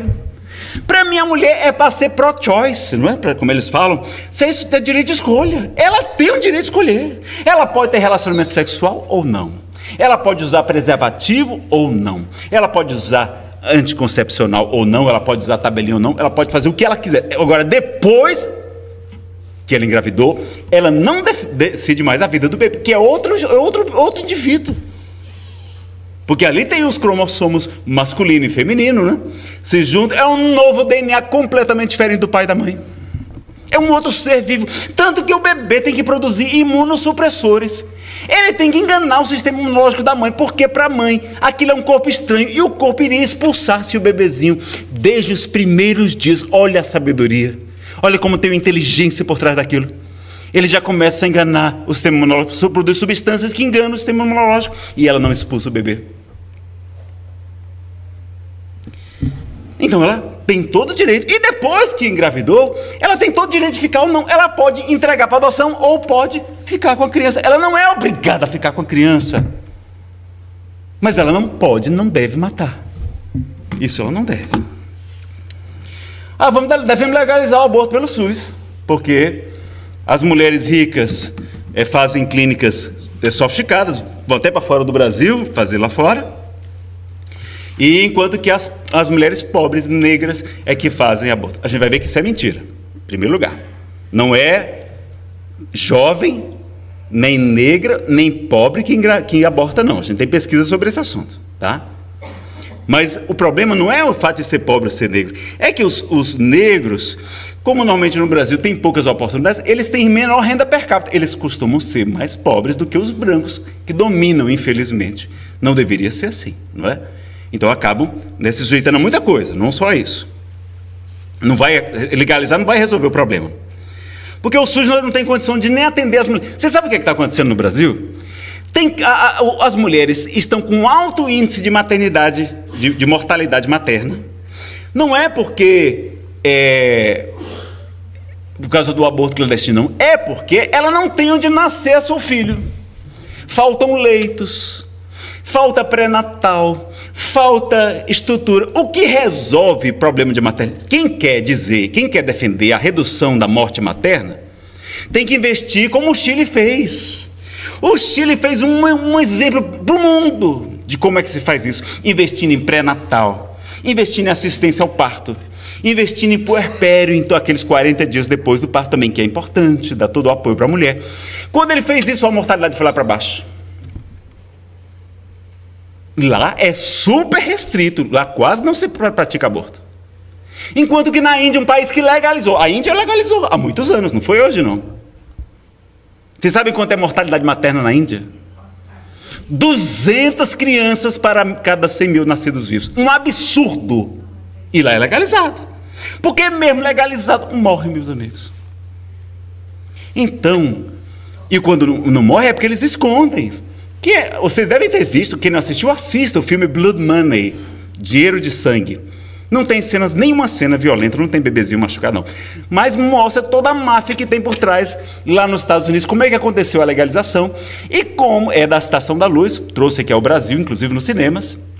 Parabenizar aqui a Estação da Luz, que está fazendo inclusive o Festival de Cinema Transcendental. E ela vai mostrar que muitas vezes há mortes nas clínicas de aborto lá. Só que o que eles fazem? Eles escondem. Um médico lá, que é da, que é da máfia, dá um atestado de óbito falso, porque a família até quer. A família, não, não quero que o pessoal fique sabendo que ela morreu por causa de um aborto, não. Mas morre. Por que morre? Porque toda prática cirúrgica tem seus riscos. E como a gente vai ver que como o número, até eu, eu no próximo vídeo depois eu vou falar. Então a gente tem essa consistência. Então os temas de saúde do brasileiro, que as crianças estão nascendo com paralisia cerebral, porque não tem onde nascer. Estão nascendo atrasadas, com retardo no pardo, aí fica com paralisia cerebral. O caso mais recente, vocês devem lembrar, vocês lembram de um bebezinho que foi jogado dentro de um balde? Viram dentro do balde? Assim, estava na UTI, e aí naquela hora, na confusão lá naqueles panos, jogaram o bebê sem querer dentro do balde. A enfermeira. Vocês viram isso? O por que aconteceu isso? Era porque naquele local eram seis leitos de partos. E estava acontecendo 15 partos ao mesmo tempo. Então o Brasil não tem estrutura. Nem para os seus bebês, seus brasileiros e brasileiras nascerem. E a gente ainda vai pagar com o nosso dinheiro, nossos impostos, para que matem as crianças com, com mais segurança? Ah, não, Nazaré, é, é melhor. Não, a gente vai falar um pouquinho mais desse assunto. O aborto diminui as mortes maternas, já vimos aqui, não é. Melhor coisa é investir no pré-natal, assistência e puerpério, caso do Chile. Mito 7. Legalizar o aborto diminui a prática. Após legalizado, em todos os países pesquisados, o número de abortos aumentou assustadoramente. Quando não aumentou, é porque a estimativa era mentirosa. Lembra que eles multiplicam por 10, por 100? Não é? E a gente vê, no caso do Uruguai, aqui vizinho da gente, um país bem pequenininho em termos de território, eles mentiam dizendo que aconteciam mais de 30 mil abortos no Uruguai. Aí legalizaram, infelizmente. Você sabe quanto chegou? Menos de 4 mil, 3 mil e tanto. Agora, todo ano lá aumenta o aborto. Esse ano passado foram quase 7 mil crianças assassinadas legalmente com a chancela da, da população e do Estado. Dobrou, já, já dobrou. E às vezes não aumenta mais, por quê? Porque estamos fazendo o aborto em larga escala usando a pílula do dia seguinte, que normalmente é abortiva. Mas ela não entra nas estatísticas, porque para eles não é considerado aborto isso. Em todo lugar aumenta. Aí tem gente, não, quando legaliza diminui. Não, quer dizer que quando era proibida não, é proibido, eu vou fazer. Agora, quando, é, agora que legalizou, não, agora não vou mais fazer, não, porque agora é legal. Que maluquice é essa? Pelo contrário, estão usando que nem anticoncepcional. Na Inglaterra, os médicos estão assombrados. Como é que jovens, crianças, 17 anos de idade, já cometeram dois abortos? Prejudicando, talvez se tornem estéreis, não ter mais a condição nem de ter filhos. Não é? A pelo dia seguinte não é abortiva, nós já falamos, não é? Ela normalmente é uma é abortiva, sim, porque depende da quantidade de horas que foi tomada, mas tudo indica. E a, a, a intenção também é essa. Proibir o aborto não impede a sua prática. Ah, Nazaré, proibir não resolveu, não. Continua tendo aborto, mesmo sendo proibido, mesmo sendo crime. É verdade. Proibir o estupro e a corrupção também não acabaram, não acabaram com, a legal, com, com o estupro nem com a corrupção no Brasil. Vamos legalizar então para acabar o problema? Vamos legalizar o estupro? Vamos criar estupódromos pagos com nosso dinheiro para os estupradores poderem estuprar as mulheres com segurança. É isso que a gente vai fazer? Não, vamos dar então fuzis, colete à prova de balas, capacetes especiais, dar para os criminosos para eles poderem matar a gente sem nenhum risco para a saúde deles. Vejam a que ponto a gente chegou. No Brasil, é crime, mas não inibe. Vocês sabem por que, que não inibe? Porque no Brasil, o problema do Brasil não é corrupção só, não. O maior problema do Brasil é impunidade. Ninguém vai preso. Não existe mulher presa por aborto no Brasil. Só se ela tinha, além do aborto, outros crimes. Porque a pena é pequena. Porque ela vai dizer, ela é, ela é primária, ela tem bons antecedentes. Agora, se ela já cometeu outros crimes, se ela está numa clínica abortando, etc., ela é abortista, aí sim ela pode ser presa, porque aí a pena, ela já não tem mais bons antecedentes, ela não tem mais. Tem todos os, os recursos. Mas aí tem os recursos para o tribunal para não sei para onde, responde liberdade. Tem não sei quantos benefícios e recursos. A pessoa não é presa. Todo mundo vai prestar o depoimento na, na delegacia e dali daqui a pouco ela é liberada. É, re- responde liberdade. Não é verdade que. Agora, se fosse presa mesmo, se elas soubessem que tinha con- consequências, eu tenho certeza que ia diminuir. Mas no Brasil é, é assim. Ninguém vai atrás. As clínicas estão aí funcionando, ninguém faz nada. Mito 10. É bom diminuir a taxa de natalidade. No Brasil, a taxa de natalidade despencou nas últimas décadas. E pesquisa demonstra que por volta de 2050, cerca de 30% da população estará idosa e não haverá adultos para manter a previdência social. Precisa nascer criança, ter jovem, ter pessoa adulta, depois mais nova, para poder pagar a previdência, para poder a gente poder se aposentar. Estão querendo acabar com a nossa aposentadoria? É porque não, nasce, não tem mais, mais criança, não tem mais jovem nascendo. Ninguém mais quer namorar e fazer menino. Quer só namorar. E muitas vezes cometeu o aborto. Mito 11. O aborto de anencéfalos preserva a saúde da mulher.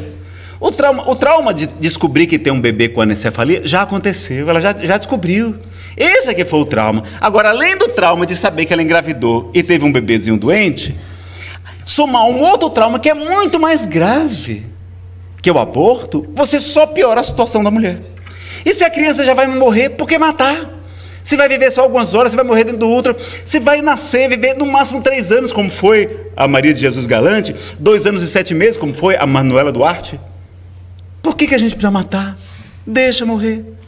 Deixa seguir o curso natural da vida. Mito 12. É necessário abortar para salvar a vida da mãe. Atualmente, meus amigos, com o avanço da medicina, isso é raríssimo. Pode acontecer? Pode, mas é raríssimo. E até se você tirar a criança já com cinco meses, ela já sobrevive. Bota no UTI neonatal, ela já sobrevive. Tem bebezinho com poucas gramas aí, não é? É, é sobrevivendo. Gestar uma criança deficiente físico, mental prejudica a mãe. Na verdade, fizeram pesquisa mostrando que o trauma do aborto é mais danoso do que aquela gravidez. Não é? Já aconteceu. Matá-las é eugenia, como fez Hitler. E o mito 14. Adolescentes pobres é que morrem por aborto. Você sabe o que acontece? Fizeram um estudo aqui na UNB e na UFRJ e descobriu o, destruiu o estereótipo de que abortar é um método usado para adolescentes para entorpecer uma primeira gravidez fruto de uma relação passageira inconsequente. A grande maioria das mulheres que abortam tem entre 20 e 29 anos, 25 anos em média. Trabalha, tem renda, tem dinheiro. Tem um parceiro estável, é casada. E já tem pelo menos um filho. Este é o perfil da maioria das mulheres que abortam no Brasil. Então ela está usando o aborto como anticoncepcional, que não é. É? Ela está usando o aborto para resolver um problema que ela problema que ela, que ela podia ter prevenido. E aí quando a mulher também não faz o sexo chamado seguro, que é uma, uma coisa in- in- meio inconsequente, né? E falar esse termo eu acho, eu acho equivocado, mas você veja, se legalizar o aborto, também vai aumentar muito o número de abortos, vai triplicar. E aí o número de morte por aborto vai continuar o mesmo, porque antes era menos. E agora triplicou, aí triplicando também, na, mesmo nas clínicas, com higienização, com tudo. No SUS do Brasil, imagine, vai continuar havendo mortes, sequelas. E vamos ter, não é? Como a gente sabe, é, eu acabei fugindo agora o raciocínio, porque eu estou preocupado já com o horário. Então, Nazareno, soluções, vamos apresentar soluções para a gente resolver o problema. Tem solução? Tem. Qual é a solução? Primeiro, aprovar o Estatuto do Nascituro. Projeto de Lei 478, 2007. Dez anos já se arrastando na Câmara. Do deputado Luiz Bassume, Miguel Martini, que na verdade o nome dele é estatuto, devia ser Estatuto da Mulher Gestante Carente, porque ele é feito para parar a mulher carente gestante. Dar todo apoio social, um recurso financeiro. Descobrir quem é o pai, responsabilizar e o pai pagar, sim. Devolver ao, ao Estado o que o Estado gastou com aquela mulher. Não é para a gente ficar sustentando. O pai tem, a- tem, gente- tem exame de DNA para isso hoje. Auxiliando a redação. A redação foi aperfeiçoada pela deputada Solange Gomes e tem um pedido de urgência do deputado João Campos, daqui de Goiás. Responsabilizar o parceiro, que o, o Estatuto do Nascituro faz isso. Acolher as mães em condição de risco social e psicológico. Ampliar a rede cegonha, né? a gente pode acolher as mães. Tem instituições assim, a instituição dos Santos Inocentes, que ampara gestantes carentes, o Instituto Vida Bezerra de Menezes, aqui no Areal, em Águas Claras, é um centro espírita, mas também ajuda as gestantes carentes, todo apoio para evitar que elas abortem. Em Santos, um, um, padre fez isso. As prostitutas do Porto começaram a largar a prostituição porque tiveram a alegria de ter um filho, serão amparadas por ele conscientizar a população sobre os métodos contraceptivos saudáveis, né? assim evitar. Quando a pessoa faz sem um preservativo, ela está correndo um risco gravíssimo, vai aumentar o índice de? De AIDS, de sífilis que tem voltado com força total. Quantas doenças graves a gente pode a mulher receber ou transmitir para o parceiro, né? Ela precisa saber das consequências orgânicas. Isso aqui não é dito para ela, as consequências orgânicas, psicológicas, psiquiátricas. Ninguém fala isso para as mulheres. E elas têm o direito de saber da informação. Aprovar uma PEC um, um propósito de emenda à Constituição que garanta expressamente o direito à vida desde a concepção. Tem que dizer lá na Constituição, desde a concepção, porque o Supremo, senão o Supremo vai legalizar.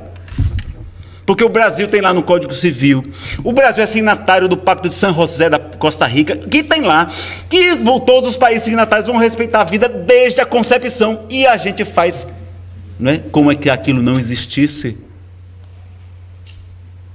Um tratado internacional de direitos humanos. E aí o Brasil, não, nessa hora não, não vale. O direito é, é muito bonito, mas é, é, é, terrível quando a gente vê que a gente tem argumentos para ambos os lados. Né? Tem duas PECs, a do deputado João Campos, 164 2012, e outros, né, são vários signatários, e a PEC 29 2015 no Senado, do senador Magno Malta e outros. E o mais importante, desmascarar essa mentira em forma de propaganda nazista, de repetir sua mentira mil vezes até que ela passe por verdade afirmando-se que morrem milhares de mulheres por aborto clandestino no Brasil, quando isso não é verdade, isso é mentira. Isso é propaganda nazista e abortista, financiada por quem está ganhando dinheiro com isso, divulgada por quem está ganhando dinheiro com isso. Tem todas as fontes lá na nossa página, nazarenofeitosa.com.br. E só para a gente concluir, vou ter que ser bem rápido aqui, vou mostrar para vocês, agora falando do ponto de vista. Né, o Brasil acolhe os haitianos, mas não tem como acolher os brasileiros e brasileiras que fogem da morte, nem das suas mãezinhas? Por que, que a gente não pode acolher eles também? Está aqui. Essa bebê tem 10 semanas, não tem 12 não. Eles só querem dizer que até a 12 pode matar, porque não tem sistema nervoso envolvido. Isso aqui é o quê? Isso aqui é, é um ser humano? Não, não é um ser humano não. Então é animal ou vegetal? Não, é animal. Então, aplique a lei dos maltratos contra os animais e não mate a criança. Não faça ela sofrer. Então, há vários pensamentos. Olha, tem dizendo que na oito semanas já tem todos os sistemas do corpo humano, incluindo o nervoso. Na quinta semana, os primeiros neurônios começam a aparecer. Sexta, as primeiras sinapses. Sete semanas e meia, o embrião apresenta os primeiros reflexos já. E na oitava semana, o ceto, que já tem as feições faciais, com mão, pezinho, dedão, tem um circuito básico de neurônios. Com poucos dias, o embrião já produz substância para enganar, já falamos, e com 21 dias, 21 dias, o embrião já começa a produzir neuropeptídeos, que é o, o, elemento básico do sistema de comunicação entre o sistema nervoso, endócrino e imunológico. 21 dias. E o coraçãozinho também está batendo, acho que por volta de 21 dias, não é isso? Então a doutora Candice Pert mostra isso. Também, inclusive, de lembranças que a criança tem, se ela sabe inclusive os traumas que ela tem durante a gestação. E, e por que não sente dor? Não é porque não sente dor, não tem sistema nervoso. Então, aí quer dizer que não, quem não sente dor pode ser morto? Bom, primeira coisa, a gente tem certeza que os bebês não sentem dor? Tem pesquisa dizendo que é a partir da quinta semana, tem outros dizendo que é na vigésima. Bom, há vários pacientes que não sentem dor. Paciente em coma, sente dor?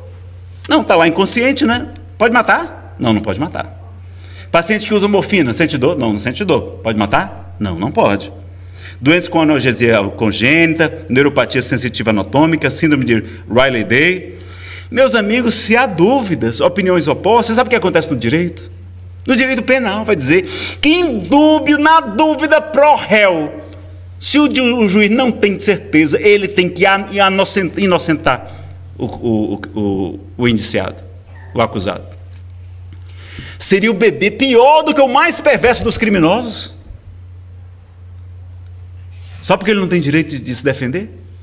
Não é isso que é o direito humano, a gente defender os mais fracos. Gandhi vai dizer, me parece claro como a luz do dia, que o aborto é um crime. Madre Teresa vai dizer que o aborto é um assassinato no ventre. Uma criança é um presente de Deus, se não a quiser, dê para mim. A maior destruição da paz no mundo é o aborto, pois sua mãe pode matar sua própria criança. Quem me impede de eu me matar você e você me matar? É uma pobreza muito grande decidir que uma criança deve morrer para que você possa viver como deseja. Martin Luther King vai dizer que o negro não pode ganhar nada enquanto ele está disposto a sacrificar as vidas de seus filhos por conforto e segurança. Como nosso sonho pode sobreviver se assassinamos nossos filhos? Cada bebê abortado é como um escravo no ventre de sua mãe, onde a mãe decide o seu destino. Eu trouxe apenas alguns religiosos para mostrar como eles defendem os direitos humanos de todos nós. Não? E qualquer estudante de biologia, de medicina, sabe o, o livro principal, o de Moore e Pessoa, vai dizer que a vida começa na ligação do espermatozoide com o óvulo. Né? É o mesmo, o mesmo ser humano, do embrião até o velho, é a mesma coisa, é um contínuo. Né? E agora, concluindo essa nossa primeira parte, eu vou falar para os espíritas. Que tem espírita dizendo, não, eu sou, eu sou contra o aborto, mas eu sou a favor da legalização. Vamos ver o que, que Chico Xavier falou sobre a legalização. Legalização do aborto, não foi sobre aborto só não.